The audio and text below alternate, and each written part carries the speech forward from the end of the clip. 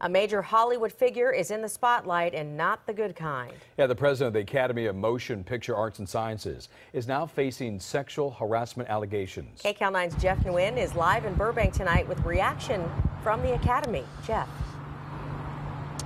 Well, if you're going to the movies this weekend, you may not know the name John Bailey, but he is the man at the top of the organization behind the Oscars, and even he is not immune from the Me Too movement that took center stage during this year's award season. For the Shulman family, the recent Me Too and Time's Up movements against sexual harassment have factored into what movies they watch. And once you start to see who's behind the films, who's in them, and uh, who's you know who's benefiting from it. And scrutiny is now being placed on one of the biggest players in Hollywood. Variety reports the Academy of Motion Pictures Arts and Sciences has opened up an investigation into its president, John Bailey. Senior media editor Gene Maddaus says three women have made complaints against Bailey for sexual harassment. You know, we're trying to figure out is it somebody who works at the Academy? Is it somebody that uh, worked with him in his uh, film life? Bailey had worked as a cinematographer before he became the Academy's president in August.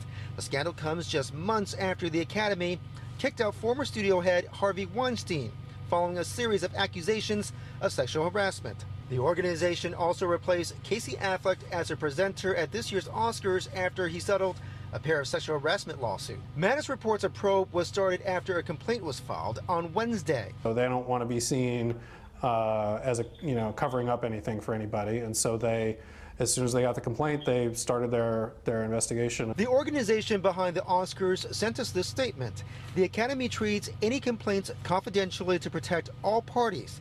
The membership committee reviews all complaints according to our standards of conduct process.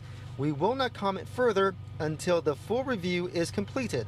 there you go. But for parents like Rick Shulman, the headline grabbing issues of actresses speaking out against bad behavior is an important lesson for his kids to never suffer in silence. That it's okay to speak out and, and to say something to whether it's to us as parents, to their teachers, to, to somebody.